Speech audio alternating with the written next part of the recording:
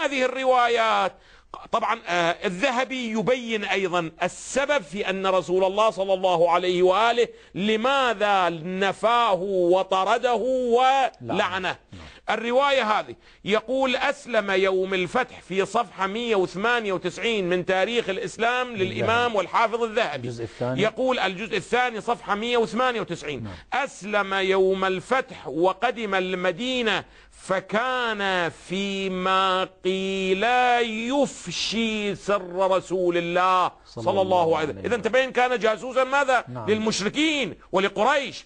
فطرده وسبه وأرسله إلى بطن وج اللي هي الطائف.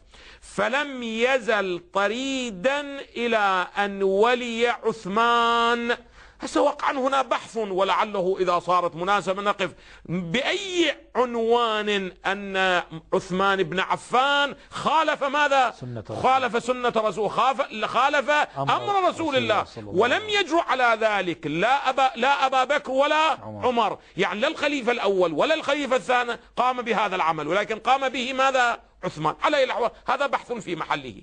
فأدخله المدينة ووصل رحمه وأعطاه مئة ألف درهم. هسه إن شاء الله أنه هذه المئة ألف درهم كان من ماله الخاص وإلا إذا كان من بيت المال فالويل له.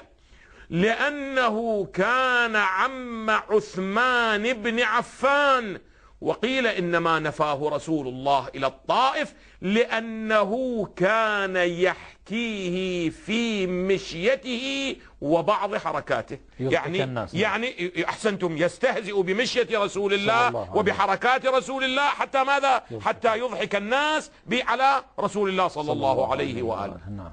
على أي الأحوال؟ الرواية الأخرى. قال حماد بن طبعا لا يعلق. على هذه الرواية الذهبي ماذا؟ لا يعلق. لا يقول شيء.